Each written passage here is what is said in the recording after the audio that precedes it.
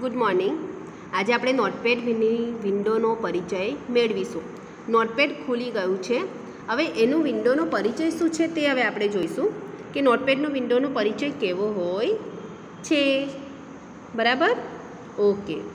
તો ચલો. સૌથી પહેલાં આપણે જોઈશું મેનુ બાર. મેનુ બારમાં શું શું છે? File, edit, format, view and help. અને કહેવાય છે મેનુ બાર, જેમાં અલગ અલગ પ્રકારના ટેબ આપેલા છે. બરાબર? પછી ટાઇટલ બાર એટલે જેમાં ટાઇટલ મારેલું છે નોટ પેડ એવું જે ટાઇટલ મારેલું છે ને, એને કહેવાય ટાઇટલ બાર. અને કહેવાય કંટ્રોલ બટન કંટ્રોલ બટન એટલે જેમાં મિનિમાઇઝ મેક્સિમાઇઝ અને ક્લોઝ બટન છે. આ જે માઇનસ આકારનું બટન છે, એ મિનિમાઇઝ છે. પ્લસ આ જે ચોરસ આકારનું છે, એ મેક્સિમાઇઝ અને જે ચેકડી આકારનું છે એ ક્લોઝ બટન છે. એટલે એને કહેવાય છે ત્રણેય બટનના જે મેઇન પાર્ટ છે એને કહેવાય છે કંટ્રોલ બટન અને આપણે જે એરિયામાં લખવાનું છે એને કહેવાય છે ટેક્સ્ટ એરિયા ખ્યાલ આવ્યો? Menu bar title bar control button and text area હવે નોટપેડની વિન્ડોને મુખ્ય છ ભાગમાં વહેંચી શકાય છે. સૌથી પહેલાં આજે આપણે જોઈશું ટાઇટલ બાર વિશે.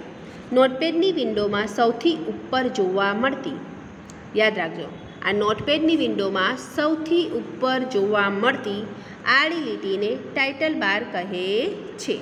તે પ્રોગ્રામનું નામ અને ફાઇલનું નામ દર્શાવે છે. પ્રોગ્રામનું નામ એટલે પ્રોગ્રામનું નામ કયું છે? નોટપેડ. અને ફાઇલનું નામ તમે જે સેવ કરશો તમારા નામથી એ. બરાબર? એટલે તમને તમારું નામ દર્શાવશે ઉપર. એને કહેવાય છે ટાઇટલ. હંમેશા કોઈપણ વસ્તુનું આપણે ટાઇટલ મારીએ છીએ, એને કહેવાય ટાઇટલ બાર, જે શરૂઆતમાં સૌથી ઉપરની લીટીને જોવા મળે. Menu bar. હવે મેનુ બારમાં તો ઘણા બધા બટન આવેલા છે.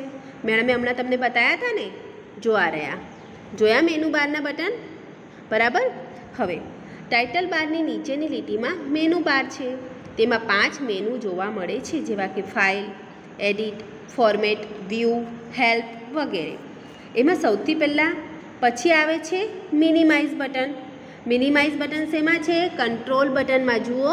મેં હમણાં જ તમને બતાવ્યું, કંટ્રોલ બટનમાં ત્રણ બટન આવેલા છે. મિનિમાઇઝ મેક્ઝિમાઇઝ અને ક્લોઝ બટન.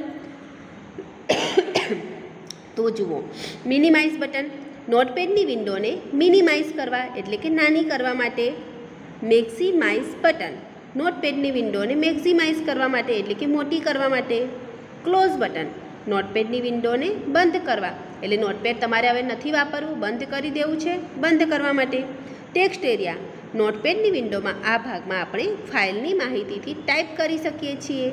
એટલે ટાઈપિંગ કરવા માટે એબીસીડી લખવા માટે, તમારું નામ લખવા માટે, કંઈક દસ્તાવેજ લખવું હોય તમારે, તમારા વિશે મારી સેલ્ફ વિશે લખવું હોય, તેમાં દેખાતી ઊભી ઝબકતી લીટીને કરસર કહે છે. એમાં જે આવી ઊભી ઝબકતી, આવી જે લીટી આવશે ને, જે માઉસ વડે આપણે ખસેડીએ છીએ, એને કરસર કહેવાય. આ પરીક્ષામાં પૂછાશે, ધ્યાન રાખજો તેમાં દેખાતી ઊભી ઝબકતી લીટીને શું કહેવાય છે? કરસર. બરાબર? તો આજે આપણે શું શું શીખ્યા? Title bar, menu bar, minimize, maximize અને ક્લોઝ બટન અને ટેક્સ્ટ એરિયા. બરાબર?